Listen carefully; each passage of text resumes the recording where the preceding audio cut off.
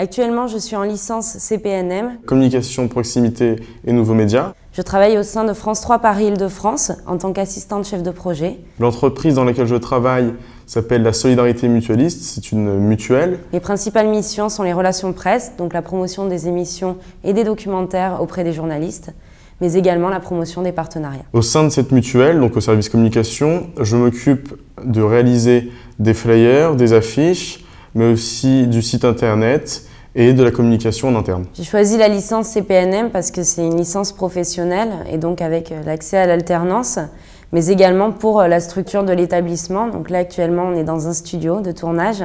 Derrière vous avez la régie, on a également accès à une salle Mac, à une salle PC.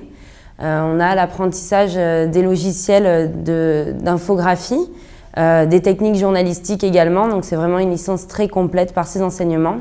Et moi, ce qui m'intéressait tout particulièrement, c'était l'aspect nouveaux médias. On a une matière, la gestion de projet, qui est très intéressante, puisqu'elle nous permet d'apprendre les règles de la rédaction d'un cahier des charges. On nous apprend aussi à mettre en place euh, un planning avec un budget. C'est très intéressant, puisque ça nous permet de ne pas être de simples exécutants. On a euh, les projets tutorés, donc où on est quatre par groupe, et, euh, et, en fait, ça nous permet de toucher un petit peu à tout et de travailler ensemble avec soit euh, des enseignants, mais également des professionnels. On peut de nous-mêmes prendre des initiatives, proposer. Le fait d'avoir une alternance de deux jours, trois jours, comme on a actuellement, c'est un avantage également parce qu'on peut gérer des projets toutes les semaines. Après la licence, je souhaite rentrer directement dans le monde du travail parce que je pense que cette formation est là pour ça, c'est-à-dire nous habituer euh, à voilà, avoir des responsabilités, à travailler sérieusement, à être au sein d'une entreprise et euh, avoir des missions qu'on réalise soit par nous-mêmes, soit en groupe. Mes projets pour la suite euh, vont être de m'insérer en entreprise